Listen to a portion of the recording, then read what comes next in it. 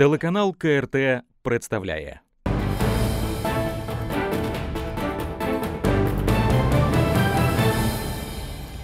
Доброго вечора. Це програма Прайм Аналітика. і Я її ведучий Руслан Коцаба. Цієї години зі мною в студії незабаром приєднається громадський діяч Павло Вікнянський і вже зараз присутній журналіст, правозахисник Юрій Шележенко. Вітаємо вас, пане Юрію. Доброго І найближчим часом говоримо про таке. З мотивів сумління світ відзначає День відмови від військової служби. Заборону на російські соцмережі в Україні продовжено. Указ президента. Нацрада вкотре зацікавилась КРТ. Цього разу через 9 травня.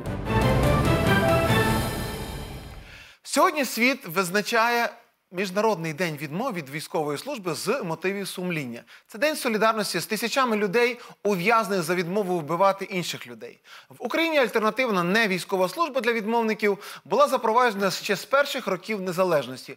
У 2013 році ми були дуже близькі до скасування призову.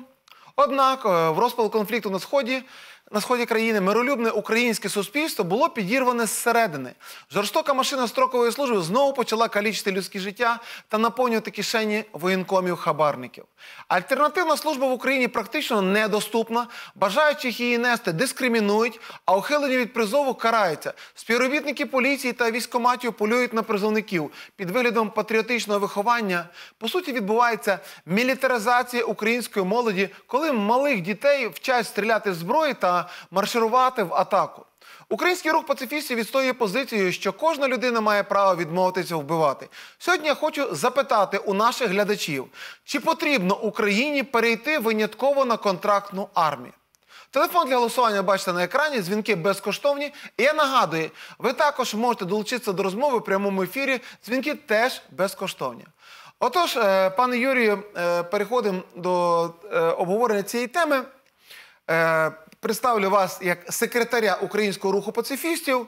Е, Пане Юрію, більш детально поясніть ситуацію, чим е, пацифіст, е, відрізняється, скажімо, від класичного дезертира, для якого є в Кримінальному кодексі України спеціальний навіть розділ військові злочини. Треба сказати, що класичний е, образ дезертира він великою мірою е, сформований військовою пропагандою. Е, адже коли почали створюватися масові армії і великі війни, тоді е, кожні генерали, е, військові лідери різноманітні почали створювати враження, що не воювати е, неправильно, злочинно. Чому це сталося? Це сталося через те, що люди просто не хотіли воювати. Особливо люди, які на землі живуть, свою землю обробляють, селяни. Да? Е, В принципі, е, українська нація цим завжди славилася. Е, Кожен народ е, в світі має е, цей миролюбний ген, миролюбний корінь свій. Як український поет та Іван Франко свого часу писав. Лазурем небо чисте пишається, коли війна нелюдяна кривава, на мир переміняється. Це люди відчувають своїм серцем, це миролюбство. Е, І е, е, для того, щоб змусити людей воювати, силою потягнути їх на людиновбивство, один народ проти одного, зіштовхнути лбами. Для цього і вигадали оці от терміни: дезертирство, самовільне залишення військової частини, ухилення від призову. Оці от всі речі вони штучно сконструйовані. Пане Юрію, скажіть, будь ласка, от часто я ви знаєте, я дуже дорогу ціну заплатив, те, що я відмовився йти на Донбас. І відмовився від мобілізації, навіть інші закликав. Але зараз не до цього. Зараз де, е, я хотів би сказати, чому тоді е, пацифістів, миролюбців у нас називають агентами Путіна, рука Москви. Е, Тому що пропаганда робить ворога з тих, хто не поділяє офіційну політику. І це викриває брехливість цієї пропаганди. Пропаганді легко казати, от ворог там далеко. Е, Люди на- навіть почали забувати е, не те, щоб, е, що всі люди фактично в світі браття і сестри. Е, Це знає кожен християнин, це знає кожна віруюча моральна людина. Е, Але ж е, люди починають забувати навіть те, що от у нас там живуть родичі, у нас там економічні зв'язки і так далі. А все це далеко. Кремль далеко від Києва, і тому легко зробити з Кремля ворога. А, а от е, коли тут, в Україні, звичайні люди, підлітки, е, кажуть: я не хочу вбивати, я не візьму в руки зброю, совість мені не дозволяє вбивати іншу людину. Е, з такого підлітка вже важко зробити ворога.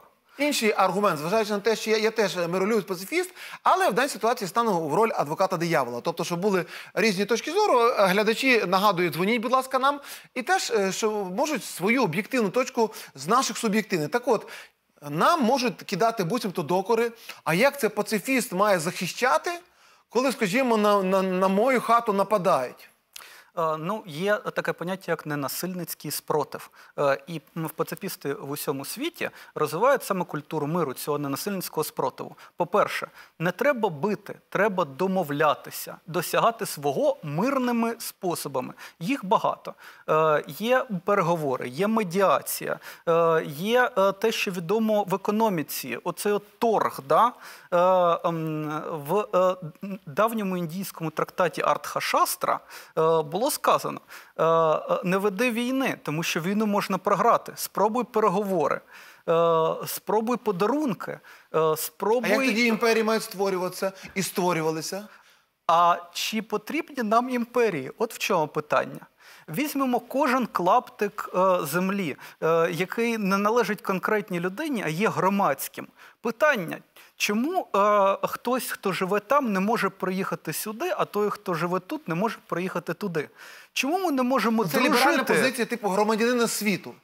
Так я зрозумів. Е, звичайно, е, саме так. Е, А національна приналежність, а національні держави. Е, Національна приналежність це наша культура, наша миролюбна культура, наші зв'язки Тобто між етнографічний аспект, так? Е, е, етнографічний, економічний. Як влаштований сучасний глобальний світ? Одна економіка, багато націй. Е, Зараз е, нації е, зіштовхують в конкуренції силовій. Е, Найбільш розвинуті нації, ті, які свого часу побудували свою економічну міць, вони вже між собою не воюють. Е, Але е, вони хочуть зберегти своє світове панування, щоб постійно воювали між собою маленькі нації. Це нерівність різних націй між собою. Нам треба бути розумнішими і не вести війни, а брати приклад з миролюбства великих націй, які між собою не воюють. Нам треба не воювати, а будувати свою економічну та культурну міць. Дякуємо. В нас є телефонний дзвіночок. Доброго вечора. Ви в прямому ефірі. Хто ви? Звідки ви? Доброго вечора. Слухаємо вас. Ві- Віктор Дніпро. Я хотів би сказати, звісно, контрактно. І тільки контрактно, щоб людина осознанно е, йшла як на роботу служити в армії. Ніяк е, у нас через силу і генералам дачі діти строять, понімаєте? Осознанно, за гроші. В Євросоюз во все в Євросоюзі е, контрактно. І нічого тут ухилятися. Я вам скажу, що Янукович вообще запретил призыв. Ну и чем его это, Майдан благодарил? Чем? Вот таким переворотом своим, это самое. И насчет, э, Руслан, что вас э, не за что вы подверглись гонениям о, за то, що думку свою висвіли. Я вам скажу одно. Хто хотів в АТО, той туди пішов. Хто не хотів, той туди не пішов. Не пішов я туди, і три моїх сина туди не пішло. І не підемо ніколи своїх стріляти. Дякую. Дякуємо. Цікавий аспект. Дехто вважає, що буцімто армія навіть е, в теперішньому деградовному вигляді, вона буцімто школа мужності, справжній чоловік це той, хто може тільки, тільки той, хто ст- е, строкову службу пройшов. І більше того, навіть частину е, структур силових, е, державної служби неможливо потрапити, навіть неможливо заповнити документи на прийняття на роботу, навіть не допустять до конкурсу, якщо у вас немає військового квитка. Е, Так, е, є ця система військового обліку. Фактично, це така сучасна тиранія, е, мілітаризм. Але ж оця теза, що армія це школа мужності, і там можна навчитися бути чоловіком, це неправильна теза, і це встановлено науково. Ем, У одному оксфордському виданні опубліковано статтю результати дослідження, е, яке було проведено у Швеції. Е, Порівняли рівні злочинності до і після запровадження призову. Порівняли, як поводяться е, юнаки, які живуть вдома і які пройшли армію. Рівень злочинності підвищується. З'являються е, Агресія? Тобто армія додає агресії чи що? Е, По-перше, е, вона вивільнює цю агресію, людина вважає нормальним. Ну, якщо там людей вчать користуватися зброєю, якщо у них кричать командири, звичайно, що люди починають сприймати насильство як щось нормальне. І коли вони повертаються з армії додому, для них навіть нема особливої різниці між армією і цивільним життям. Їм спочатку спочатку важко пристосуватися. Е, І якщо е, вони е, від цих командирів навчилися грубості, вони починають грубо поводитися з батьками, з родичами, зі своєю дівчиною. Да? І це жахливо, це потребує реабілітації, і будь-яка реабілітація все одно не поверне вкрадених років Пане життя. Юрію, пане Юрію, у нас реабілітації не проводять для атошників, а ви говорите просто людина, яка прийшла з такої строкової служби. У нас є телефонний дзвіночок. Доброго вечора. Хто ви? Звідки ви? І чи є у вас запитання до теми примирення?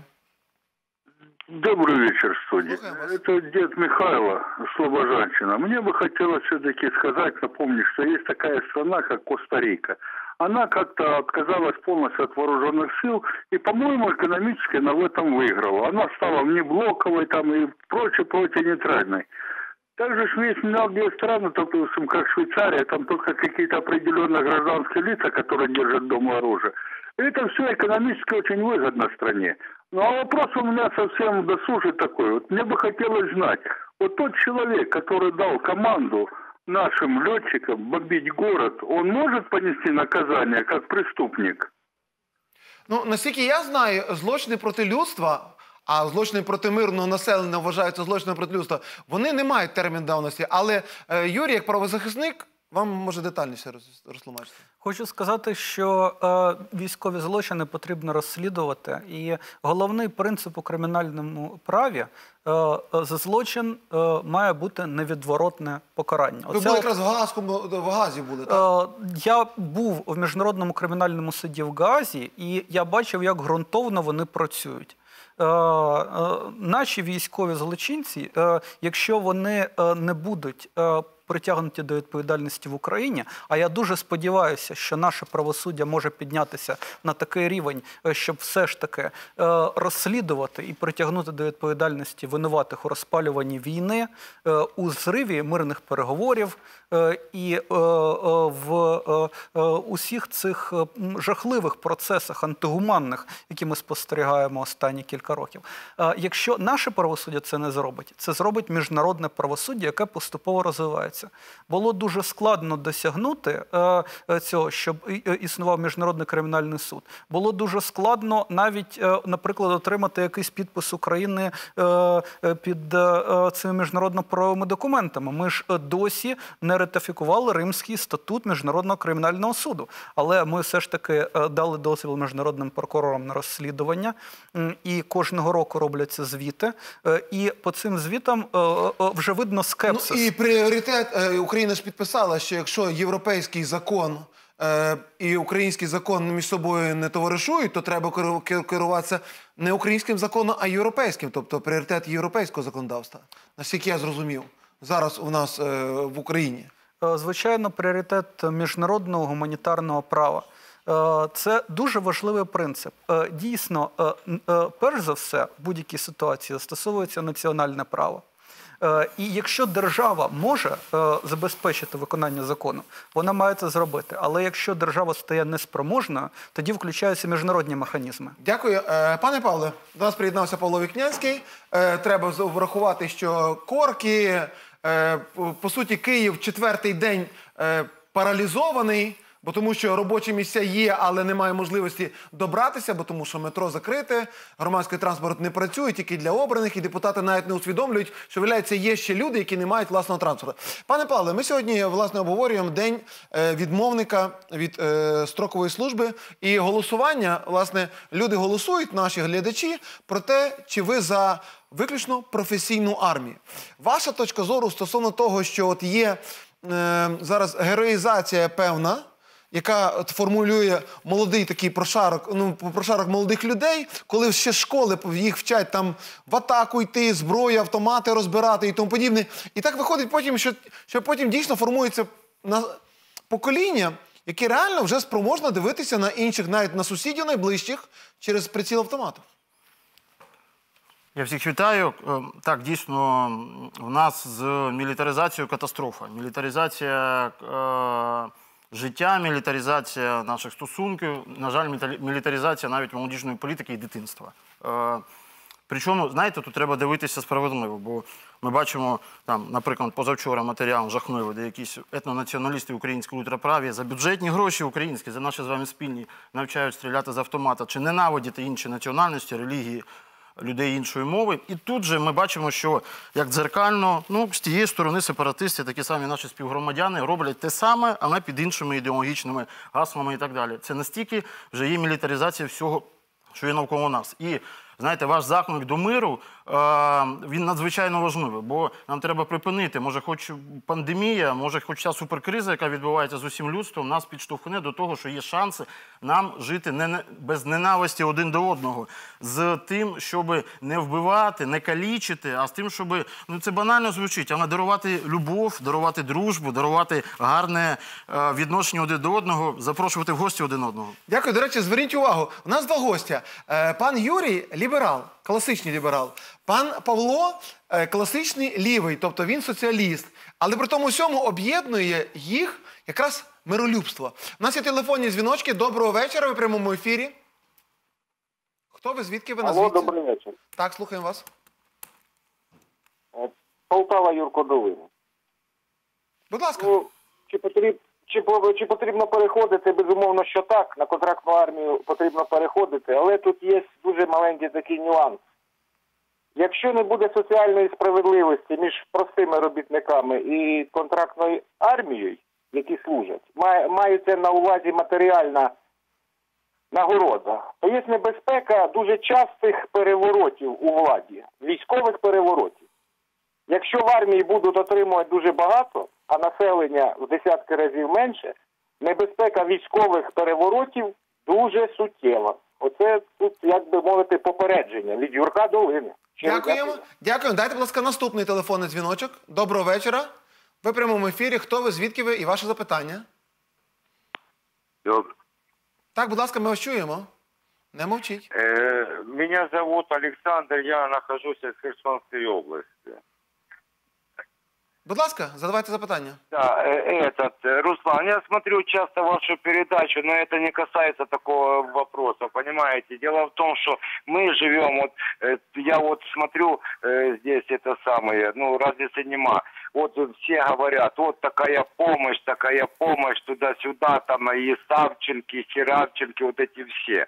Здесь, э, по крайней мере, нема, ну, вообще ничего. Но это вопрос не о том. Я вот просто хочу вас поинтересоваться. Смотрите, жена моя работает на ферме, доит коров. Она пошла на ферму. Ее только что прям выгнали нахер с работы. Без, без Вот. лайки, ласка. А, вот, э, понимаете, э, вы просто выгнали ее вот так вот с работы, а я вот хочу поинтересоваться, вот почему э, безнаказанно остается вот эти вот вру- ну, вот эти вот, ну, как, э, начальники вот эти, они себя царями тут чухают. Вот скажите, пожалуйста, куда нам, бедным крестьянам, деться? Что делать нам? Дякую. Отже, пане Юрію, ну е, було два запитання, два дзвінки. Перший дзвінок це дійсно кажуть, що найбільш е, жахливий сон кожного імператора це легіони повертаються в Рим. Тобто, коли люди без жодної соціальної адаптації, які навчені тільки вбивати. Повертаються це, як правило, не тільки п'янки, гулянки і грабежі, це, як правило, ще й державні перевороти. Ну і друге питання стосовно того, е, що на це все йде стільки бюджету на утримання армії. Може, ви оволодієте цифрами, що е, і на прикладі, можливо, країна Великої Сімки, що просто-напросто інші, інші галузі не витримує. Отож вам два запитання. Е, Ну, дійсно, це питання е, озброєння і це питання певних цифр, да? а точніше, це питання нерівності. Е, І от через це свавілля начальників, і е, через е, цю нерівність, е, через незбалансованість, фактично, відбуваються ці проблеми. Чому? От у нас є велика армія, сформована тим же призовом, коли кожного року по 30 тисяч юнаків в армію. Е, Чому б е, не зменшити обсяг цієї армії і не направити гроші на освіту, на медицину? Е, Можливо, нам не потрібно так багато зброї, можливо, нам потрібні соціальні програми, запровадження уроків миру в школах. Далі. Е, е, Коли, наприклад, у нас так багато небажаючих воювати, адже міліція, наприклад, тільки в Києві під час минулого призову спрямувала е, до поліції е, 30 тисяч, там наскільки я пам'ятаю, 34 тисячі особи- особистих справ призовників. Які ухиляються від призову. які ухиляються від призову, просто не відповідають на повістку. Оці от 34 тисячі небажаючих воювати, і в рік на альтернативну службу йдуть тільки 500 чоловік, там навіть 400 з чимось. Е, До речі, статистику по цій темі скасували. Це вже не можна запитати. А чому б е, не дозволити е, всім, хто не хоче нести військову службу, проходити альтернативну службу там, де потрібно допомогти налагодити ситуацію в тих же лікарнях, в тих же школах, сісадміни, Дякую, дякую. прибиральники, хто завгодно. Дякую, пане Юрію. У нас є телефонний дзвіночок. Доброго вечора в прямому ефірі. Добрий вечір. Слухаємо вас. Алло. Хто ви звідки? Я ви? з Полтави. З Полтави. Будь ласка, І питання. хотів би задати запитання. Пан юрист не поїхав би в Ізраїлі пожити і ведучий, де всі проходять військову службу воєнного біля. Жінки і чоловіки, бо вони мають захищати свою державу. А ті, хто інваліди, можливо, уборщиками там піти чи ще куди-небудь, то не можуть. А в нас грошей держави вважає, не вистачає, щоб контракту армію найняти, всім платити. Ну, ви просто не зараз пан Юрій краще скаже, він орієнтується в відсотках, скільки є строкової служби, скільки є контрактної армії. Будь ласка, якщо можна стисліше, бо нас ще є теми. Е, Так, е, в Україні е, 90% армії є контрактною. Лише 10% є призовників, і їм цей призов потрібен е, е, мілітаристам для того, е, щоб, е, по-перше, здійснювати політичний тиск. Е, Щоб мати владу в державі, Е, і по-друге, нарощувати кількість резервістів. Навіщо ці резервісти? От зараз, наприклад, будуть місцеві вибори. Зараз е, головнокомандувач, президент Зеленський оголошує призов резервістів. До шести місяців. До шести місяців. І це використовується як засіб впливу на результати місцевих виборів. Тому що таким чином може, наприклад, пасіонарних членів суспільства викликати в армію, десь залишити, десь викликати, забезпечити там, де треба, баланс е, слуги народу. Дякую. Коли люди підуть строєм на виборчі дільниці. Почули, ще є телефонний дзвіночок. Доброго вечора в прямому ефірі. Э, Добрый вечер, Андрей Киев, порядочный арестант. Нахожусь на карантине. Приветствую философов Киевского университета. Дай бог всем здоровья. Юра, первое. Вопрос в духе ЧПИ. Какую землю они защищают? Это первое. И второе. Человечество уже себя один раз похоронило в войнах. Может, хватит? Пора угомониться и что-то нормальное, гуманитарное развивать. Колбасу, в конце концов, делать или БМВ. Но не мочить же друг друга. Дай Е, бог здоровья всем. Е, Пане Андрію, з вашого дозволу, я перед... у нас є ще один, е, теж він за духом миролюбець. Я, ви не проти, пане Юрію, що я передам. Е, пане Павле, будь ласка, передросове питання вам. Ну, я б тільки що про це власне казав. Можу ще раз наголосити, що, ну, на жаль, так сталося, що ми всі живемо в капіталістичному суспільстві. Як відомо, в капіталістичному суспільстві, буржуазному, в пізньокапіталістичному, більше того, зараз який переживає страшну кризу, влада кому належить? Тим, хто утримує е, прибуток з цієї влади. Це хто? Це наші корупціонери, це олігархи, це ті, хто їм прислужує. Такі самі негідники. В чиїх інтересах реалізується ця влада, в їх інтересах. Яким чином вони це класика? Яким чином вони забезпечують власні права за рахунок, е, в тому числі зброї, за рахунок стравлювання людей, за рахунок е, е, того, що російський імперіалізм, американський імперіалізм бореться або навпаки спирається на українських таких самих павуків і гнитаїв, а страждають від цього дійсно, як то кажуть, пани чубляться. А в звичайних людей як з цим боротися? В цьому ж, мабуть, ваше питання. А дуже просто боротися, відстоювати власні права не поступатися їм під жодним приводом. Не має бути в демократичному вільному суспільстві ніяких добровільних чи якихось інших арештантів. Тут хтось сказав, е, можна до цього відноситися з сарказмом, але це дуже не смішно, що як всіх нас за лічені дні по всьому світу фактично посадили під домашні арешти. Нас, людей, які революції робили, майдани, які е, за свої права і свободи готові були, в тому числі, як і Руслан, е, героїзм перебування під політичним е, арештом і сидіти в тюрмі е, за свої переконання. А тут нас всіх фактично на нас все це одягнули і беріть, е, е, кушайте. Не треба від них чекати жодної подачки. Це величезна Дякую, катастрофічна дякую, ілюзія. пане пане. Е, хвильку, ми зараз е, у нас просто ще є наступна тема, дуже важлива. Ідемо далі. Для початку я нагадую вам, що триває наше опитування. Проміжні результати ви бачите на екрані. Активніше, будь ласка, голосуйте. Для нас важлива ваша думка. Отож, пішли далі. Національна рада України з питань телебачення і радіомовлення знову зацікавилася телеканалом КРТ. Цього разу через марафон до Дня перемоги та трансляцію параду, який проходив у Мінську. Голова Нацради Ольга Герасим'юк направила лист гендиректору телеканалу КРТ, якому просить надати запис ефіру від 9 травня з 10 до 13 години. Тобто час, коли якраз була в нас е, трансляція, пряма трансляція, телемарафон е, до Дня перемоги. Напередодні свята пройшло засідання регулятора в онлайн режимі на тему, чи пройдуть цього року українські телеканали перевірку на об'єктивність і толерантність 8 і 9 травня. Хочемо на підкреслити про неможливість допускати розпалення ворожнечі, маніпулювання старими е, стереотипами, які вже зараз е, запускаються. Це вигідна дата для наших е, ворогів, які доливають олії в багаття. Ми нагадуємо медіа, що ми будемо а, моніторити ефіри завтрашні. Ми е, просимо всіх поставитися до свого глядача з великою повагою, е, з чутливістю до болючих питань, які досі, е, досі використовуються як болючі точки. Всі, хто завтра спробує, як то кажуть, можемо повторити, щоб всі мали на увазі, що е, ми не допустимо. Е, Того, щоб інформаційна безпека в країні порушувалася. Отже, е, є можливість. Правила телерадіомовлення у дні трауру та пам'яті, про які нагадали ЗМІ напередодні свята, наступні.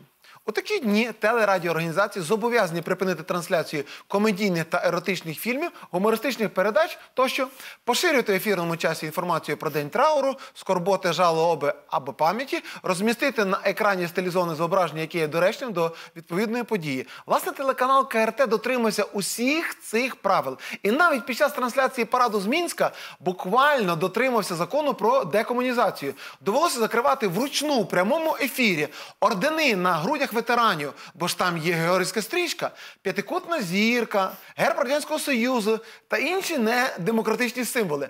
На ордени ці правила, щоправда, не розповсюджуються. Втім, українські ветерани часто бояться виходити на вулицю з орденами на грудях, аби не дратувати декомунізаторів. Тож, чим викликаний інтерес Нацради до каналу цього разу, поки не зрозуміло. Раніше регулятор вже заявляв про намір провести позапланову перевірку телеканалу через трансляцію моєї авторської програми Прайм Аналітика і ТБУ у листопаді минулого року. У наших програмах побачили ознаки. Ви не повірите. Пропаганди агресії, розпалювання ворожнечі, посягання на права і свободи, порушення вимог щодо об'єктивної інформації. Перевіряти нас збираються після закінчення карантину. А поки Володимир Зеленський, наш президент, активно нарощує кількість своїх у складі регулятора. Цього тижня глава прес-служби кварталу 95 Тетяна Руденко зайняла вакантне місце в Національній раді з питань телебачення і радіомовлення. А давайте згадаємо самі і нагадаємо панові президентові, що він говорив про кумівство.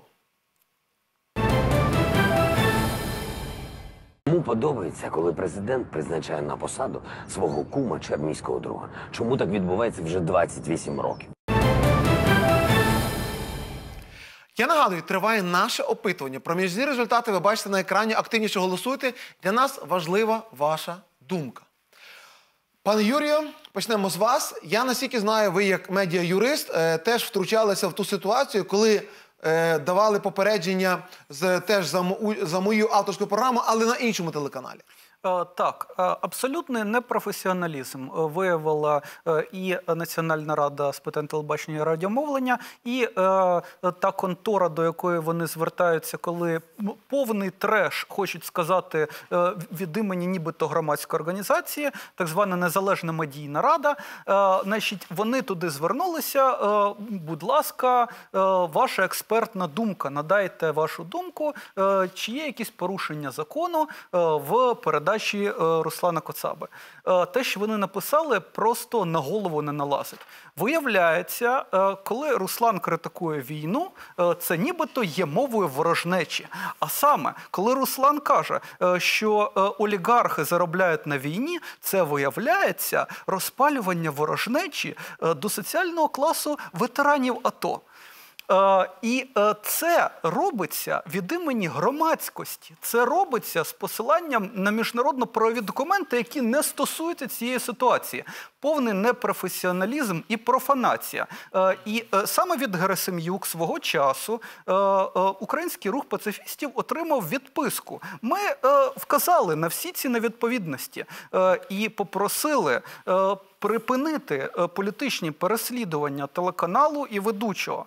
Е, У відповідь прийшла відписка, що ви знаєте, ми оштрафували. От о, о, після того, як ми вказали на ці всі недоліки. Дякую. У нас є телефонний дзвіночок. Доброго вечора у прямому ефірі. Добрый вечер. Слухаємо вас. Хто ви, звідки ви, ваше запитання? Чи репліка, ймовірно? Николаевск, Николаевская область, город Вознесенск, Олег Иванович. Я с военных, я уже м, э, на пенсии 15 лет, даже больше. Я что хочу сказать, что професс- профессиональная армия, конечно же, нам нужна. Профессионализм в армии нужно поднимать. Но вместе с тем не нужно забывать, что профессиональная армия в- вообще в своей су- сущности, в большинстве случаев, военный человек – это и высокообразованный человек.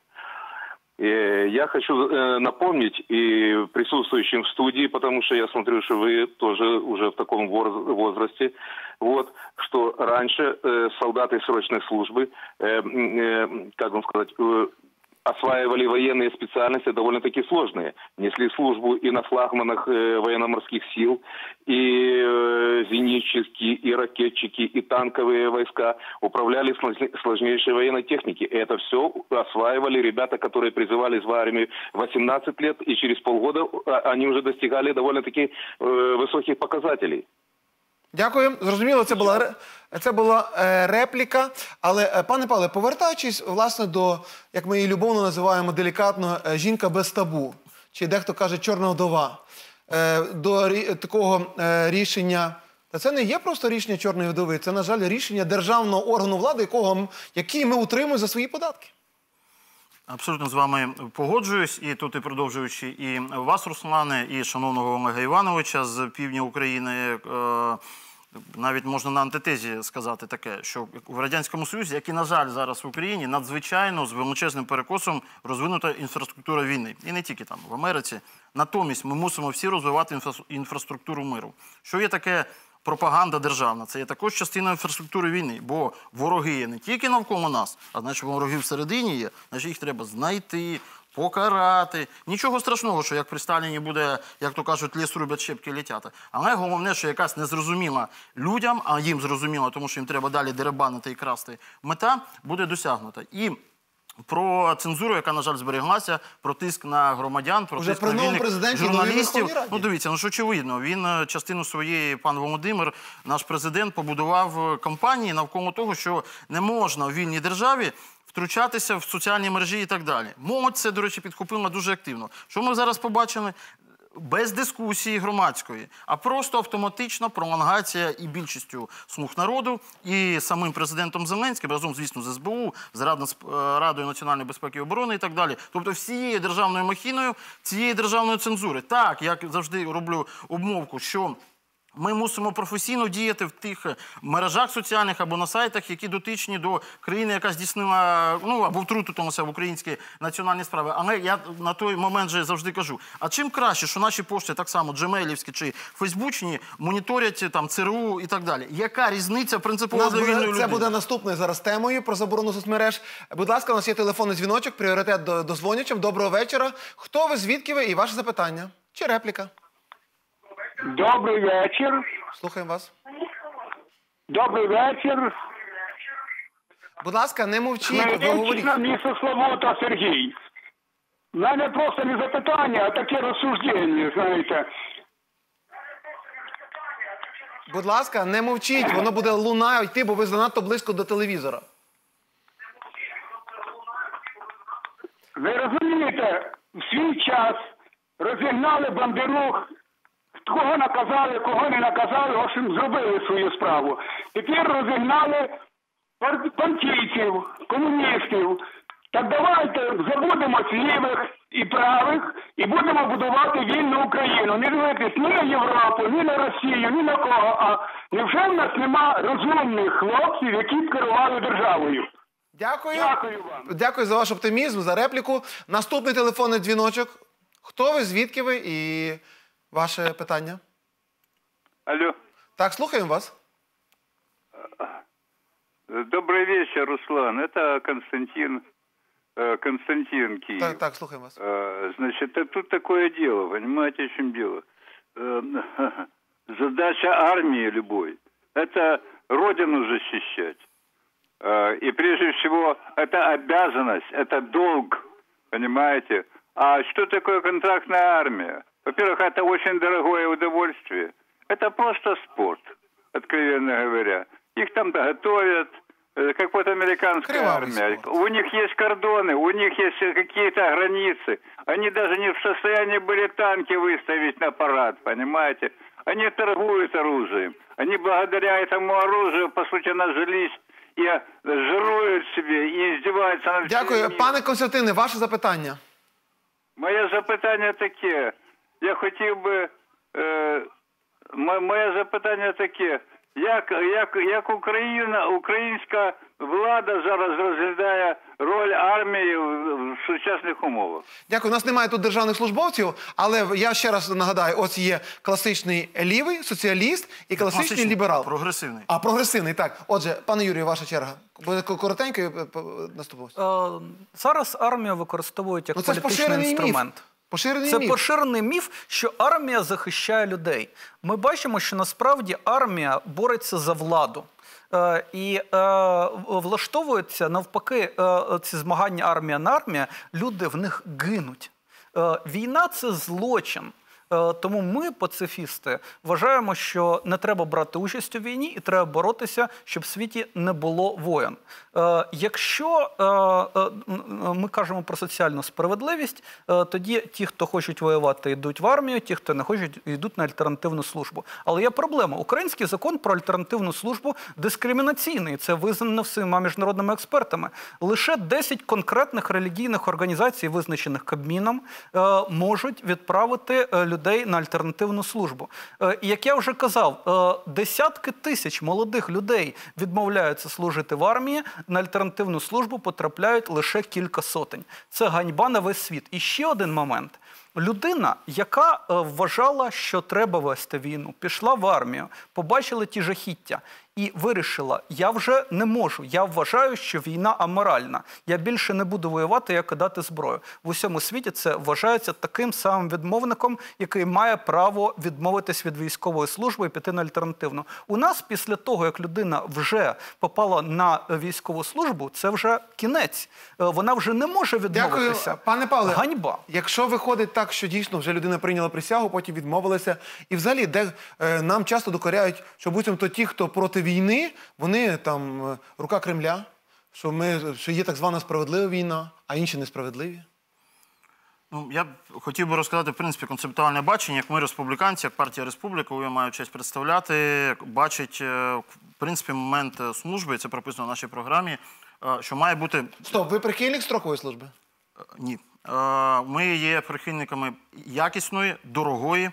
На це треба витрачати кошти професійної армії, здатною виконувати увага, бойові задачі в будь-якому куточку світу, а я б навіть так сказав, в космосі йде завгодно. Заради інтересів українського народу, а не української видимої еліти, я перепрошую. Е, Але друга історія, що ми мусимо про це, ми поки не говоримо. Не тільки альтернативна служба. Так, ми маємо людям всім максимально розказувати, як це в деяких країнах є, і як першу медичну допомогу надавати. А хто хоче з дорослих людей, не з дітей, не з молоді, навіть в принципі і збройну підготовку, вона в певних е, умовах е, Завжди є дітки, регламентована які- яким і так подобається далі. зброя, вільному суспільстві, вільному суспільстві це має бути далі всіх на облік. Хто хоче в цьому бути при цьому як е, територіальна оборона чи якось інакше, це має все обґрунтовано в інтересах, підкреслюю, української держави, не кланів е, Януковича, не кланів Порошенка, не новітнього клану, який постав, на жаль, наразі в Україні. Дякую. У нас є телефонний дзвіночок. Доброго вечора. Хто ви? Звідки ви? Э, Здравствуйте, я из Киева, э, Наталья. Хотела сказать реплику. Э, Политики, политики которые довели э, страну до войны, они зря получают э, свои зарплаты и зря едят свой хлеб. И у меня вопрос такой. Вот если все эти деньги, которые платят эм, родители, чтобы отмазать своих э, сыновей от армии, если их всех направить э, на контрактную армию, м, могло бы получиться действительно вот как бы... Я, я не, навіть не буду передресовувати. Однозначно, це такі велетенські кошти, які наживаються медичні комісії і воєнкоми, що там можна було би е, дуже високоякісну і професійну армію утримувати. А ми йдемо далі.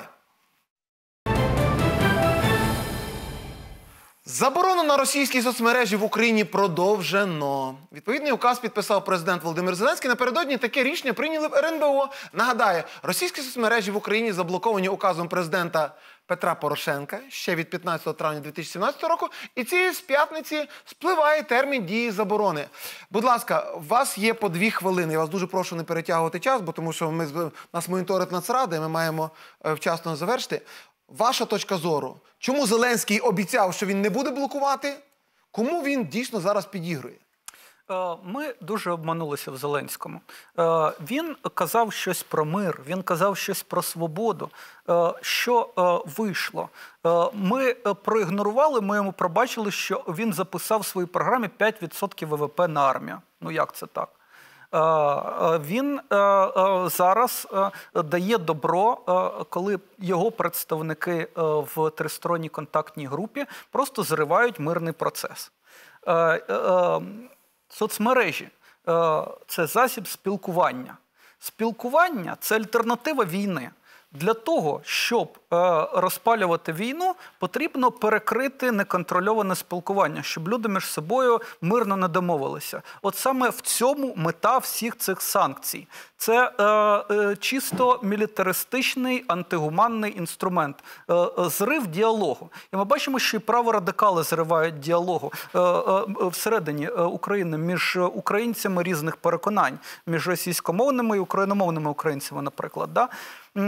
Треба підтримувати діалог. Е, е, ніякі санкції е, проти мирного діалогу не є легітимними. Це Дякую, пане позиція. Павле. Я би хотів власне під тим кутом скандалу позавчорашнього, коли виявилося, що в вільному доступі є бази даних 26 мільйонів українців. А буцімто забороняють і продовжили заборону соцмережі, буцімто під тим кутом, що там Путін дізнається наші персональні дані. Я так хочу сказати і згадати при цьому наше горічне, ще козацьке навіть минуле, що Україна чим відрізнялася від е, московських лісів е, від е, бардаку, який був у Річі Посполиті, тим більше від півдня, від е, тюрків. Тому що в нас була тотально вільна територія, і ми є вільними людьми.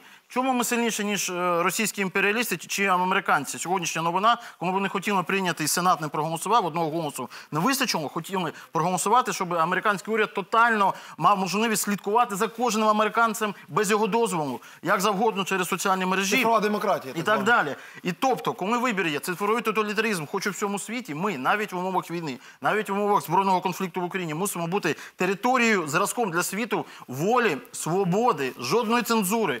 По- Повна, я б сам сказав, якщо тоталітаризм, то тоталітаризм свободи. Е, жодного контролю не мусить бути. Ми маємо обмінюватися вільною інформацією і дарувати один одному це добро і тепло. І тоді не буде розмова, хто як спекулює, яку сторону пересмикує. Ми маємо єдиний в Україні. Альтернативний громадянський план примирення в Україні від партії, і- який передбачає, що без топових політиків, взагалі без Дякую. політиків Будь ласка, має без політичної реклами. діалог. А у нас є телефонний дзвіночок. Доброго вечора, прямому ефірі. Будь ласка. Будь ласка, вас дуже лапідарно, якщо у вас репліка, чи бо ми вже завершуємо програму.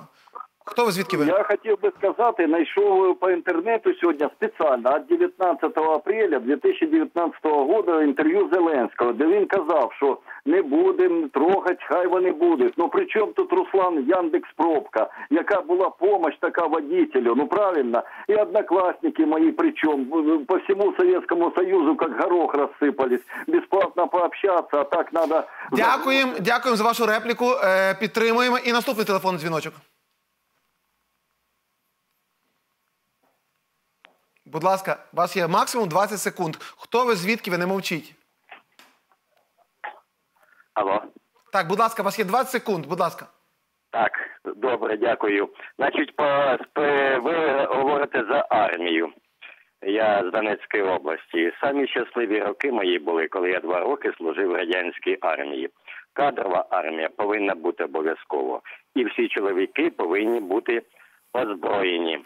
Дякую, дякую вам. Бачите, в нас є повний спектр думок. Почули вас. Я нагадую, триває наше опитування. Проміжні результати ви бачите на екрані.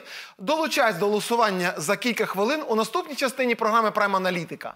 Настав час прощатися із нашими гостями цієї години. Нагадаю, зі мною в студії були громадський діяч Павло Вікнянський та журналіст і правозахисник Юрій Шележенко. Ми їм дякуємо за розмову і продовжуємо за кілька хвилин. Не перемикайте.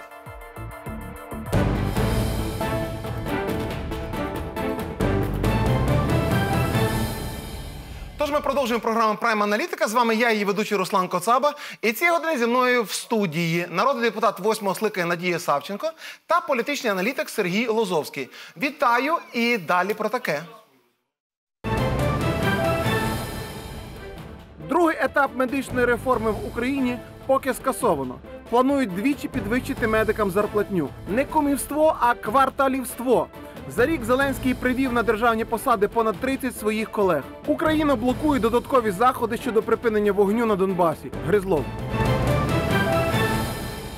Сьогодні світ відзначає Міжнародний день відмов від військової служби з мотивів сумління. Це день солідарності з тисячами людей, ув'язнених за відмову вбивати інших людей. В Україні альтернативна невійськова служба була для відмовників запроваджена ще з перших років незалежності. А у 2013 році ми були близькі до скасування призову. Однак у розпал конфлікту на сході України.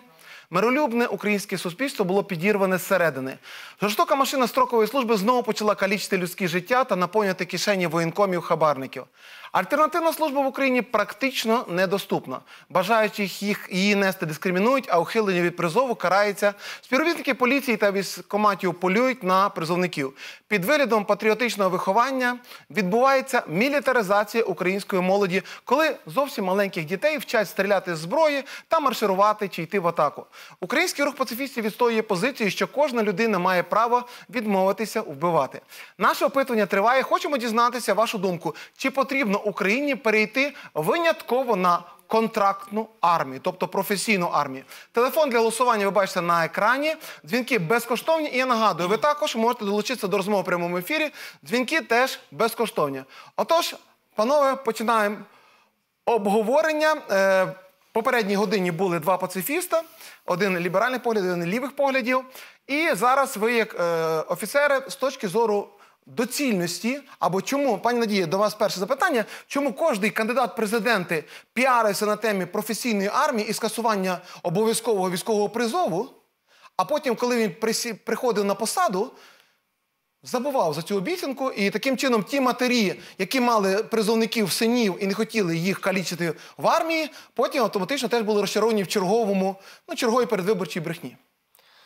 Руслан, ми маємо з вами різні точки погляду. Армія не калічить. Армія закаляє характер. Ви не бачите, що я покалічена. Не дивлячись на те, що я служила 10 років в армії і була на двох війнах. Да, бувають люди дійсно покалічені, фізично на війні. Але всім пацифістам я хочу сказати одне: можна бути мирною людиною і не нападати. Це дуже благородно. Але коли нападають на вас, коли гвалтують вашу дружину, вбивають ваших дітей у вас на очах, чи довго ви будете пацифістом, Руслан? Є велика різниця. Захищ... Захищатися захисна війна, коли тобі доводиться брати в руки зброю, і війна нападу. Коли ми говоримо про професійну армію, це люди, які обирають певну професію, які знають ризики цієї професії і володіють навичками цієї професії. Да, це дуже прекрасно. Але коли ми говоримо про професійну армію, це щось середнє між найманою армією, професійною армією, яка може працювати у всьому світі, просто як наймане військо. І строковою армією. Тобто це така собі робота всередині країни, як я не знаю, вчитель в школі, так? Тобто як журналіст. Тому у нас є велика різниця, яку ми армію будуємо. Але коли ми доходимо до війни, ми розуміємо, що коли треба йти в оборонну війну, захищатися, будь-якої армії світу буде мало. Треба, щоб армією був весь народ. Дякую, почули вас. Отже, 10% в загального складу армії, тобто є 250 тисяч професійної армії, 10 тисяч, е, 10%, тобто 25 тисяч е, обов'язкової строкової служби. Ви противник чи прихильник обов'язкової військової повинності? Знаете, когда говорят, надо из двух зол выбирать меньше, то я всегда считаю, что с обеими зо- золами надо кого-то послать, кто тебе так предлагает. Ну, ласка, на мой взгляд, на мой взгляд, человечество подошло к той черте, за которой уже это такая точка бифуркации, за которой видится, как у того рыцаря перед камнем. Налево пойдешь, направо пойдешь. Мы с библейских времен идем в ту сторону, где люди убивают друг друга. Одни нападают, другие защищаются. И за последнее время, за, ну, в новейшей истории, наверное, кроме фашистской армии, гитлеровской армии, наверное, никто не называл себя армией захватнической. Все армии обороны. Все обороняются, но при этом все воюют, практически все воюют. Я пару дней назад своему другу математику, который сказал, что я э, носитель утопических идей, я ему сказал, ну ты же можешь посчитать, вот просто посчитай. Вот есть некий коллектив, в котором все воюют со всеми. Математически можно просчитать, к чему они придут. Он говорит, ну, в принципе, да. Я говорю, ну, я без расчета могу сказать, к нулю. Человечество сведет себя к нулю, если не поменяет парадигму. Зброя. Сейчас вирус так постучался в, в голову цивилизации, как золотой петушок. Он говорит, ну как, вы долго еще будете тратить деньги на то, чтобы друг друга убивать? Я вас могу убить совершенно бесплатно. Может, начнете думать о другом, как выжить вместе. Дякую. В нас є телефонний дзвіночок. Доброго вечора. Ви в прямому ефірі. Хто ви, звідки ви? І, будь ласка, питання чи репліка? Алло, добрый вечер. Снова, это снова Константин. Руслан, вы понимаете, в чем дело? Э, Видите, эм, э, контрактная армия – это, по сути, коммерческая армия. Это армия рынка. Вы понимаете, люди, которые хотят заработать, которые исключительно меркантильными, как говорится, посылами руководимые, они идут в контрактную армию. А люди, которые, как говорится, любят свою э, от- отчизну, которые, как говорится, по-настоящему являются, э, для них армия это школа патриотизма. Они, да, они э, посвящают жизнь добровольно, то есть э, э, как это вот армии призыва. И я считаю так, что люди, которые прошли армию призыва, являются по-настоящему патриотами, те- теми людьми, которые, как говорится, сердце... Дякую, дякую. Зрозуміло, пане Константине, вашу точку зору. Я передрасовую спочатку одному гостю, потім наступному. Отже, пане Надя, я настільки знаю, що до війни на Донбасі ви брали участь у двох миротворчих місіях, де разом з е, американською армією, арміями наших союзників е, геополітичних е, ну, впроваджували демократію в е, одній азіатській країні. На вашу думку, чи ви погоджуєтесь з тим, що це був просто бізнес, отак як пан Константин з Києва е, сприймає професійну армію? Армію треба було б сприймати в даному конспекті як бізнес. Але у нас є лукавство в цьому плані. І завжди говорять, що це миротворча місія, що це примушення до миру інших країн, які не сповідують демократичні цінності. Насправді я не бачу нічого поганого в тому, щоб дійсно сприймати армію як, ем, скажімо, державну інституцію, якщо скажемо так, яка може заробити на державу. Коли ми е, говоримо про армію, ми говоримо про те, що це е, люди, яких утримують в ну, в принципі бюджетники, так яким платить е, зарплату кожен платник податків.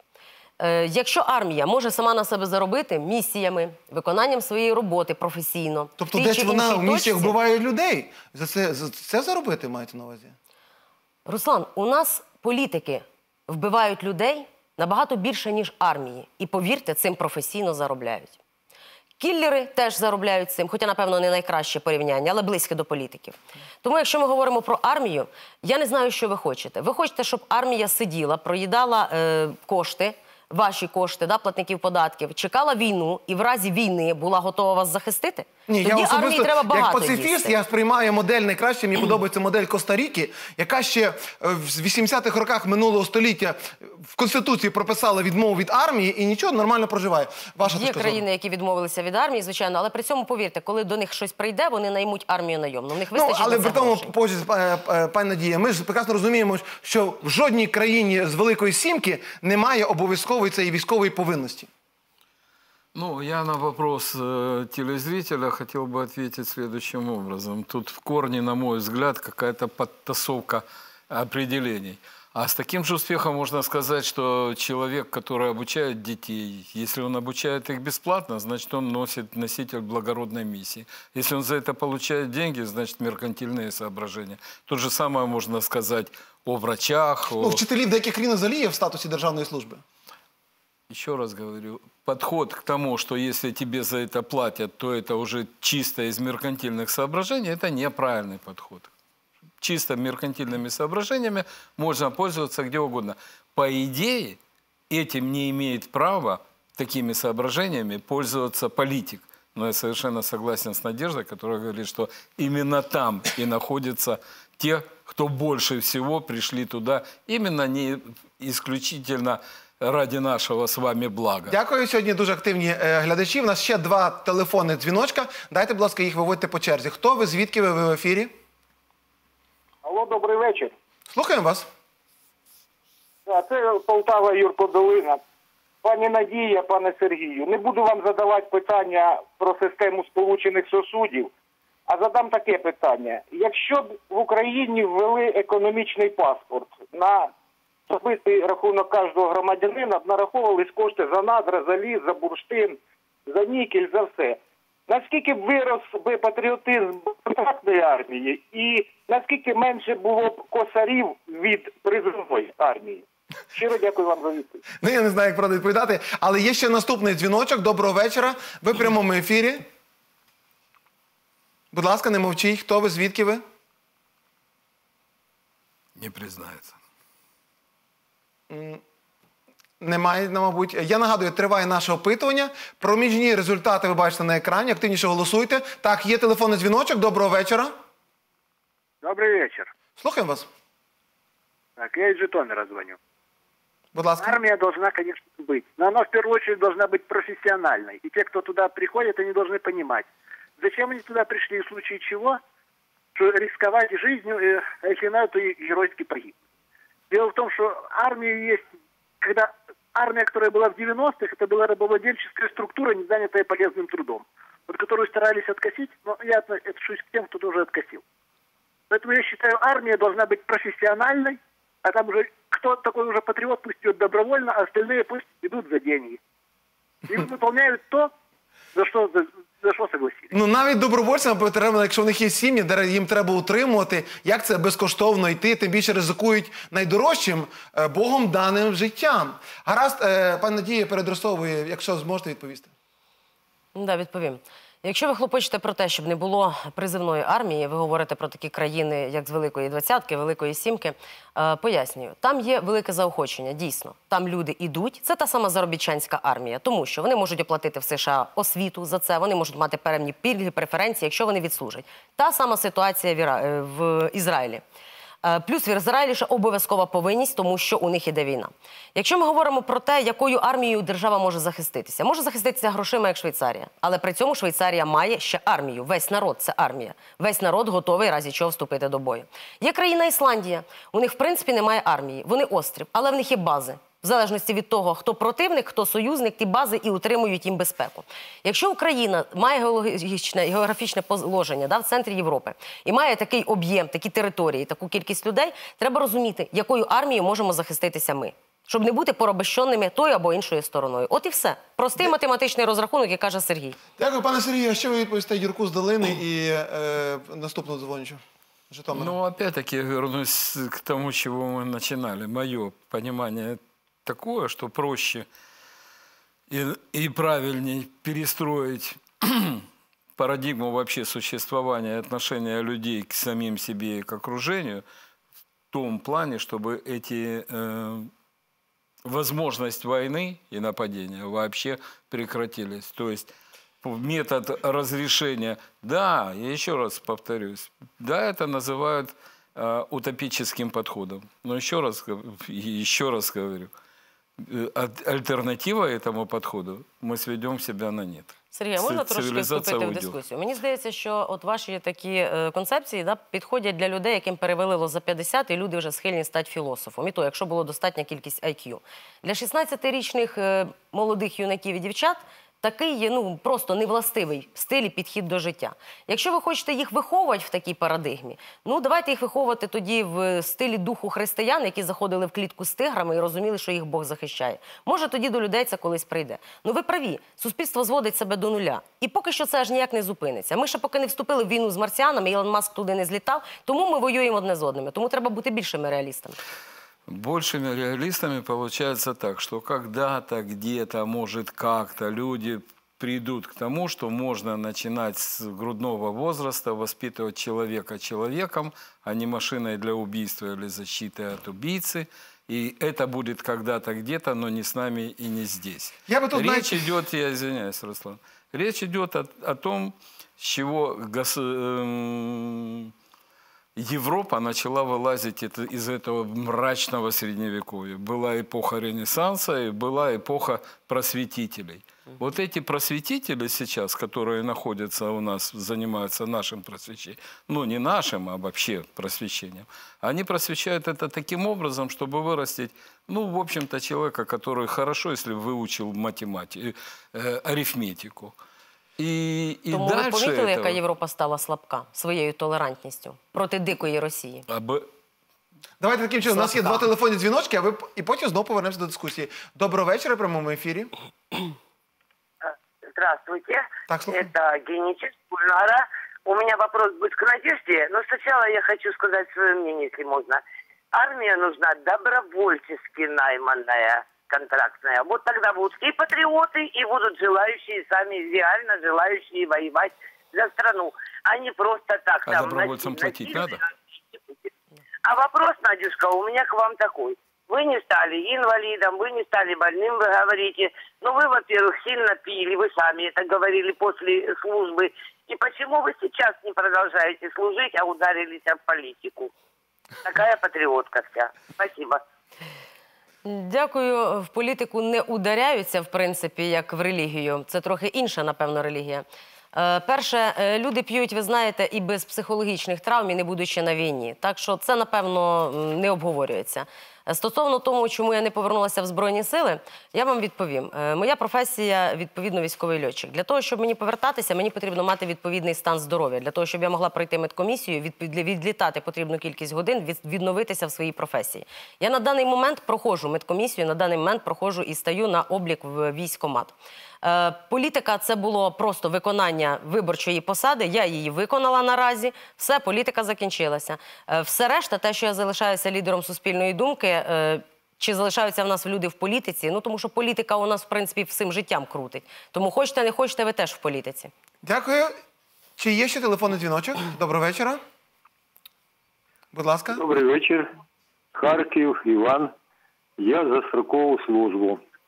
Якщо людина прослужить рік чи півтора, вона розбереться, яка професія їй до вподоби. І потім з цих людей можна піти е, в військове училище і там вибрати достойну професію, якщо йому подобається. Пане Іване, тім, що я тут за столом, якби два паці... слова за а, аточників, з якими я раз на рік лікуюся в госпіталі учасників Великої вітчизняної війни. Так от, з 10 опрошених, мене чути чи ні? Чути, чути, будь ласка, завершуйте. А, значить, із 10 опрошених, а люди різного віку до 55 рік- років, навіть 60, я запитав, хлопці, ну як ви зуміли оце так піти АТО? Що ви, е, так сказати, е, по волі, по зову серця, там сказати, по волі довга там і все таке інше? Ну, хлопці опускають голову і кажуть, ну послухайте, ви ж бачите, ви ж то пенсіонер ще з хорошої пенсії, а ми то е, роботи немає, а там хоч гроші платять. Це перша категорія. Друга старше. Послухайте, так землю обіцяли дати. Третє, так обіцяли там пільги якісь дати. Оце коротко, що я хотів вам сказати. Бачите, яка повинна Тобто за патріотизм не йшлося, я правильно зрозумів? За патріотизм не йшлося, я правильно зрозумів? Ви розумієте, ви розумієте, єдине один молодий чоловік із Житомира, по-моєму, лежав зі мною, сказав тільки, я пішов ось, так сказати, москалів поганяти. Один з десяти названих мною. Дякую, дякую. Важкий дзвінок, будь ласка, прокоментуйте. Ну, дело в том, что всегда в, в любом обществе находится определенная часть людей, которые выбирают ту, тот или иной образ жизни или занятий, который соответствует их умению или неумению зарабатывать деньги. От Тобто этого людина, яка себе не знайшла на гражданці і яка не має жодної професії, але тут їй пропонують виконувати ймовірний навіть наказ вбивати іншу людину, то це по-вашому нормальна професія? Я- Профессионализм такие. Я, я, я же уже высказал свое мнение касательно вообще этой парадигмы.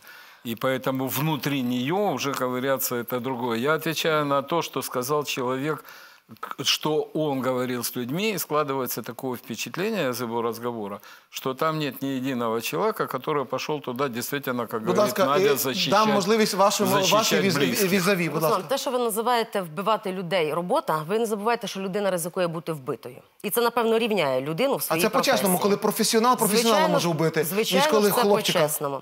Тому ми насильно поговоримо якраз таки про те, е, і я схиляюся якраз таки до того, що дійсно армія повинна бути е, не навіть не строковою. Армія повинна бути практично з дитинства. Це дійсно повинно закаляти і учити націю бути сильною і самозахиститися. Я не кажу, що треба вчити вбивати дитину в 6 років, але дитину треба вчити захиститися в 6 років. Це теж один із аспектів елементів армії. Ви не уявляєте собі армію як солдатики олов'яні, які бігають і стріляють. Це курс виживання, перш за все, і це дуже потрібно нашому сучасному суспільству. Дітьми, які скалічені комп'ютером, сидінням, скаліозом за там, гральними іграми. Е, ви знаєте, я не знаю, чому зараз, в принципі, от мають право діванні війська майдану, глядачі, які дотелефоновуються. Ми в студії. Більшість людей, які в принципі не служили і не будуть служити, і не всіх далеко заділа війна в прямому аспекті цього слова, як тих, що живуть в зоні конфлікту, саме в гарячих бойових діях. Але при цьому всі мають право судити. Я вам скажу, напевно, мають право судити тільки з одного. Якщо вони платять податки, то вони в принципі утримують армію. Все. Якби армія могла заробляти сама на себе, якби армія було все суспільство в державі армією, відповідно з захисною на випадок захисту, у нас би відпали будь-які поняття непорозуміння в суспільстві військової професії. Дякую. Власне, я теж служив і строкову службу, я був військовим кореспондентом, е, але я мушу сказати, що весь мій життєвий досвід, мені 54 роки буде е, скоро, е, він вказує на те, що так званий героїзм на фронті чи в армії це, як правило, або невиконання. Е, Інструкції чи уставу, статуту, або виконання завідомо дебільного, перепрошую, е, у- наказу напівдебільного командира, або ще гірше, це коли е, невиконання, скажімо, зловживання алкоголем, техніка безпеки при поводженні зброї і тому подібне. Гаразд, ми йдемо далі. Представник Росії в тристоронній контактній групі Борис Гризлов звинуватив українську сторону у зриві прийняття заяви про додаткові заходи щодо припинення вогню. За словами Гризлова, зокрема, через те, що представники офіційного Києва намагалися відмовитися від прямого діалогу з представниками Донецька та Луганська. На засіданні тимчасової контактної групи Україну представляла оновлена делегація. Сторони обговорили необхідність безперешкодного доступу спостерігачів е, моніторингової місії ОБСЄ до всієї території України, списки для наступного обміну в форматі всіх на всіх та можливість відкриття нових КПВВ на лінії розмежування. Українська сторона вкотре заявила, що вибори на тимчасово непідконтрольних територій Донбасу можуть відбутися виключно після отримання Україною контролю над кордоном. Пані Надія, якщо можна, бо це ваша тема. Це тема всіх українців. Насправді я чула, що група оновлена. Я не знаю ще її складу, тому що вона не оновлювалася якось так публічно, як то зазвичай буває е, за останній там наш час. П'ять я вважаю, що замміністрів. Да. Ну, е, насправді робота важлива, вона не повинна припинятися. Е, Дійсно, вона повинна докладати зусиль, тому що е, до мене не- нещодавно звернулися матері безвісті зниклих і сказали, що прогресів в їхній справі немає. Це дуже важка категорія людей, які чекають своїх вдома. Матері чекають і сподіваються, не дивлячись ні на що, що діти живі. Е, З ними працювали 9 місяців. Відповідно, була створена якась робоча група при офісі президента. Група не дала ніяких результатів. Е, навіть ексгумація, скажімо, не почалася належним чином, як вона повинна була початися. Матерів не чують. е, Вони говорять, що їхні діти є. Про це домовитися ніхто не може, щоб їх можна було побачити. Ну вони кажуть, що вони знають, де ці діти на окупованих територіях. Тому я вважаю, що як би важко цей процес не йшов, його не можна запускати. В ньому потрібно працювати, і врешті, знаєте, дорога до миру все одно приведе. Пане Сергію, а от спецпредставник голови ОБСЄ в Україні і тристоронній контактній групі е, Гайді Грау зазначає, що нинішній розвиток ситуації з безпекою в зоні конфлікту на Донбасі викликає занепокоєння і наводить випадки, коли за останні три тижні настільки пожвавилися обстріли. Є стільки вже загиблих, поранених. Сьогодні мені Оксана Челишева, правозахисник з Фінляндії, дзвонить, що жінка підірвалася в Волновасі на, на, на мінному полі. Скажіть, будь ласка, як може президент миру, ну як він себе так позиціонував, і 73% цьому повірили, може зараз е, робити таке пожвавлення на фронті ще гірше, як за часів п'ятого президента України? Ну, я вам сразу скажу, что в моем понимании я не могу этого охватить своим разумом, как это можно частично развести войска. Вот в этой точке мы развели, а в этой точке не развели. И тут вот был э, человек, который говорил о сообщающихся э, сосудах. Так вот, емкость рынка, она всегда одинакова. Если мы в этой точке развели войска, значит, в точке соприкосновения концентрация увеличится. Войск же меньше не стало, их просто развели. И это, будет, это и будет именно той причиной, которая будет все время вызывать эти Давайте таким чином. Всі говорять, що якщо є обстріли, це, як правило, відсутність дисципліни або неналежна дисципліни. Ви вірите цьому? Там же, там с- на этой В окопах. линии, И там, там, и на там. этой линии соприкосновения живые люди. Кто-то кого-то матюкнул там в пределах, да, кто-то выстрелил, кто-то с пьяну это сделал, у кого-то кто-то близкий погиб.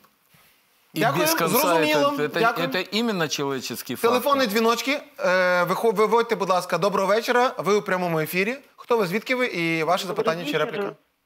Будь ласка. Добрый вечер. Я хотела спросить у ваших гостей, заслуга ли армии американской в то, что в Америке уже много лет нет войны, и какого IQ не хватает нашим украинским руководителям, чтобы добиться такого же результата? Будь ласка. Ні, це скоріш за все не заслуга армії, це заслуга дійсно політики. В Америці немає війни, який рік, виключно через те, що всі війни, які проводить Америка, винесені за межі її континенту, її держави. Америка воює, солдати помирають. Вони йдуть на службу, вони розуміють за що, вони воюють по всьому світу. Але да, вони зуміли зробити так, щоб на території Америки не було війни. У нас, на жаль, не те геостратегічне положення, і на жаль, не вистачає того IQ у політиків. Наступний телефонний дзвіночок. Будь ласка. Ідемо далі. Я нагадую, триває наше. Я нагадую, триває наше опитування. Проміжні результати ви бачите на екрані. Активніше, будь ласка, голосуйте. Для нас важлива ваша думка.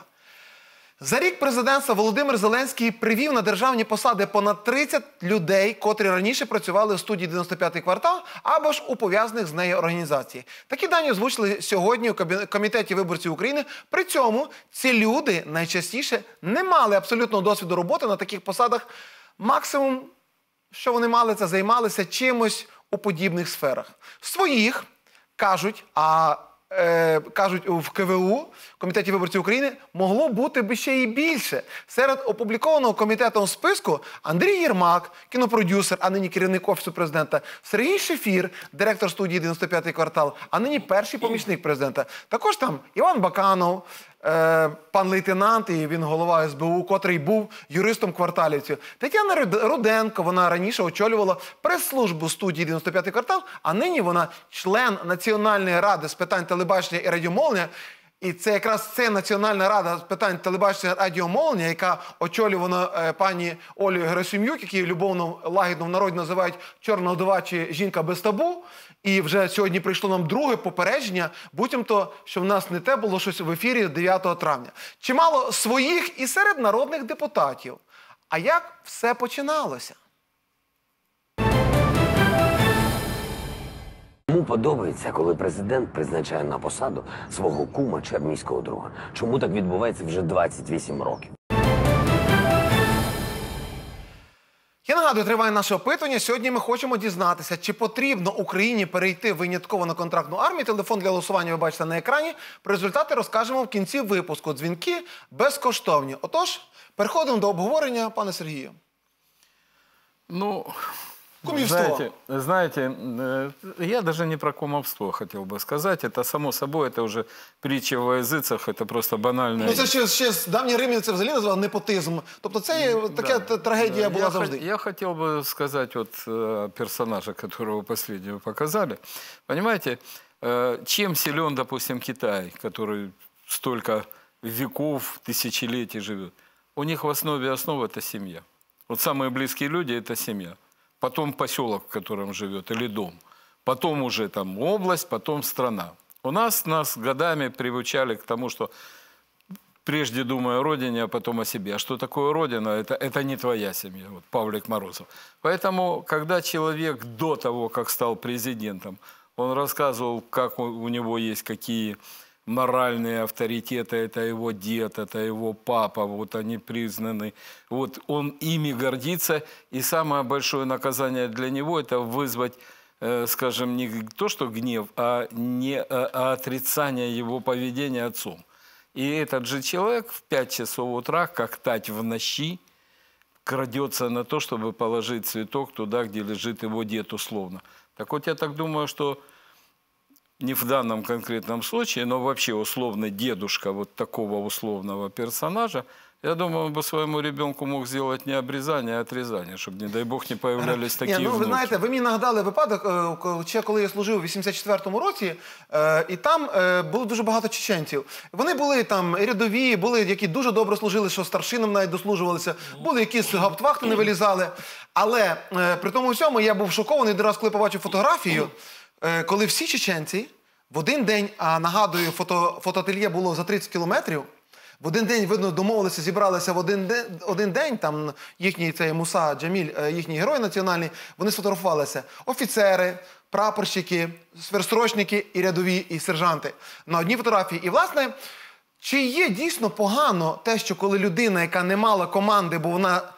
А за неї і проголосувала, тому що вона не професійний політик, використовує свої ближні знайомства і своїх знайомих, щоб ними сформувати свою команду. Ну, я так зрозуміла, е, пан Сергій говорив про президента, про ту постать, бо якось Так, так, так, так, обмиваємо. я не знаю, що там була за історія з прокраданням, щоб покласти квітку на могилу свого діда. але я вважаю, що такі речі не обов'язково робити показово. Навіть якщо не буде фотокарток і доказів, що президент почтив пам'ять своїх загиблих рідних, нічого страшного в цьому не буде. Ми ж не всі селфаємося на, на кладовищі і викладаємо. Якщо він це зробив, і е, це просто по часу в нього виходило так, щоб не зустріти там купу журналістів, всіх бажаючих поговорити, а що він це зробив, це теж нормально. Тому не бачу я в цьому нічого поганого. Якщо ми будемо говорити про президента і його команду. Ем, Дійсно, зараз говорилося про те, що в принципі царизм був сильний тим, що це родина. Ну він як сильний, так і слабкий. Їм доводилося іноді половину дітей вбивати, щоб тільки втримати царство. Тому е, козні, всі підводні течії, вони як були в політиці, так і є. Я не знаю ні одного президента, який би не, не оставив себе, дай свою владу своїм найближчим оточенням. Ну не, з- не, не з місяця ж вони їх брали. Е, З іншого боку, якщо ми хотіли бачити в Зеленського якийсь новий підхід, ноу-хау, да, там як соціальні ліфти, вони назвали, то це означає, що треба було як мінімум Зеленському особисто бути тою людиною, яка неодноразово дуже часто приймала на роботу інших людей, яка точно знає, як вибирати, яка точно не промахувалася. І то, дивлячись для якої сфери вибирати цих людей. Тому не може бути Він людина він талановита у доказав, що він ефективний менеджер. Ефективний менеджер. Він напевно знає, як вибирати акторів. Точно зрозуміло, є у вас акторський талант чи немає. Але чи є у вас професійні знання, я не знаю, бути управлінцем, це вже напевно інше. Тому напевно не трапилося так, що він зміг відібрати ту команду, а довіряти. Швидко треба було заповнити цю сітку. Він опирався на тих, кому довіряв. Я вважаю, що це не перший 30 і не останній, який він змінить. Я Сито хотел просіює. бы, хотел бы добавить только одну реплику. Дело в том, что он пришел в страну хронически больную. И когда выбираешь врача, то выбираешь не из знакомых, а из профессионалов. Если бы у него был вопрос вылечить кого-то из близких, я не думаю, что он пошел бы обращаться к своим друзьям из 95-го квартала, чтобы кому-то вырезали аппендицит. Сергій, але ми или хронічно хворі вибрали не лікаря. Ми вибрали Зеленського. Власне, Він народ вибирає точно вибирає. так же. І мені е, саме цікаво, я, я Ми теж е, його- стосовно те- тої- тих телефонних записів Єрмака, мені теж було бридко то слухати, але з іншого боку, наприклад, Шефір, він себе доказав, що він реалізував. Е, Тобто тут треба дивитися, напевно, е, на роль від е, особистості.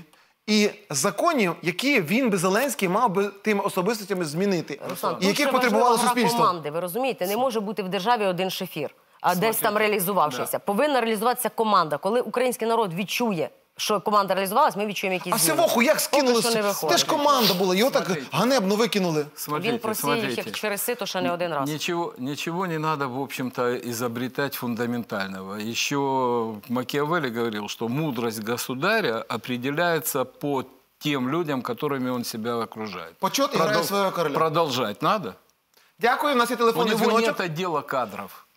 Доброго вечора, в прямому ефірі. Алло, Так, слухаємо вас ви в ефірі. Хто... Звідки ви? я можу говорити? Так, не, не можна, а треба. От так. Я із Черкаської області, місто Звенигородка. Звати мене Любов Володимирівна, і мені 73 роки. Е, мене це питання хвилює дуже, тому що я мама, в якої е, син, е, ну так, е, в Радянському Союзі, як він потрапив на Далекий Схід, і він зараз полковник російської армії.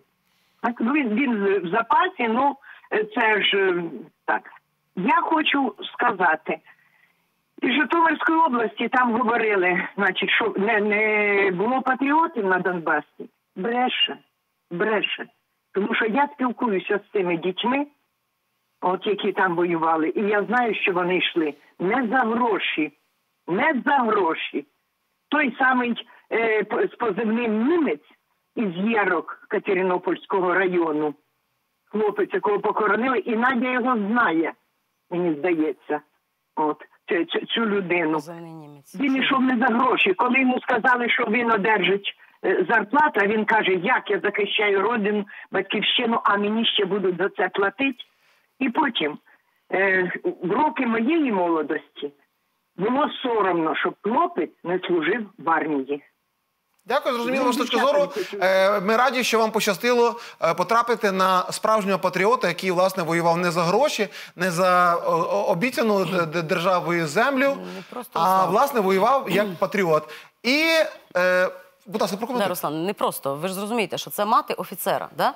Е, да, Причому офіцера російської армії. російської армії, тобто ну радянської армії на той час. Але він не може при навіть сюди приїхати. Це зрозуміло, що зараз не може приїхати. Але це жінка якраз тих устоїв, що дійсно е, чоловік повинен бути воїном, добитчиком в родині, і це нормально. І дійсно було дуже багато патріотів. Ми зараз сказали, тільки говорили про те, що армія в мирний час є якби ну роботою для людей.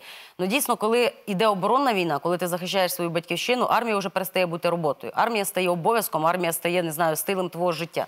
Дякую. І У нас, є ще людей у нас є ще телефонний дзвіночок. Доброго вечора. Ви в прямому ефірі. Доброго вечора. Слухаю вас.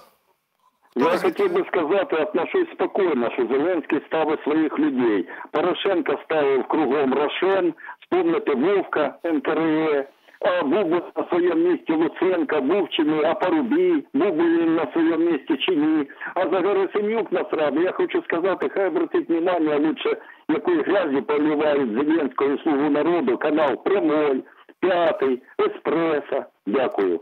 Дякую. І настав час оголосити результати нашого опитування. Отже,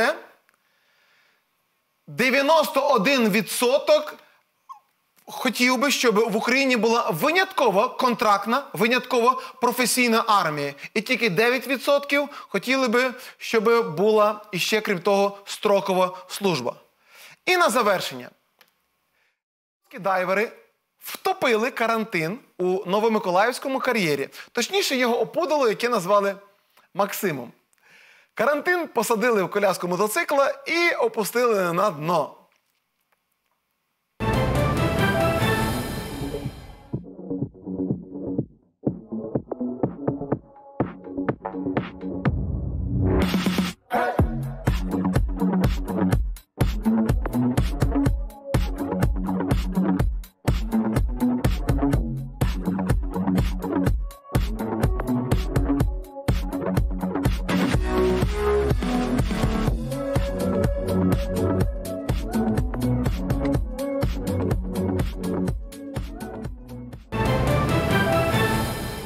Отже, є можливість у вас по півтора хвилини прокоментувати.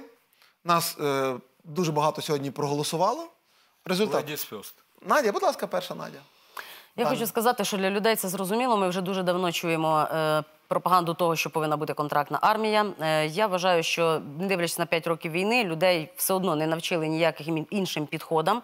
І вони, ті, хто не брали участі в бойових діях, думають, що так і мусить бути. Насправді військові вже давно схиляються до абсолютно інших типів е, армії маневреної, яка може вигравати і перемагати. Тому я вважаю, що це тільки початок. Дякую, ваша півтора. Ну, я считаю, что мы сейчас говорим не о будущем, а о прошлом. Мы говорим, какая должна быть армия, не понимая, ну, не придавая значения тому, что в скором времени, буквально мы стоим на пороге, вот э, численность военных вообще не будет играть значения. Те же дроны могут уничтожить неисчислимое количество живой силы, и при этом они не будут разбираться, это контрактник или это не контрактник. Поэтому все идет к, к к техническим войнам. Но мнение людей, я, конечно, понимаю в сегодняшней Украине, в сегодняшнем положении и с тем, что действительно я согласен с Надеждой, сколько у нас об этом говорили, это естественный результат голосования. Дякую. І є можливість у мене скористатися своєю хвилинкою, так як я е, є керівником українського руху пацифістів, і це громадська організація, і ми дійсно не сприймаємо військового вирішення економічних проблем. А як ми знаємо з історії цивілізації, кожна війна обов'язково має економічне підґрунтя.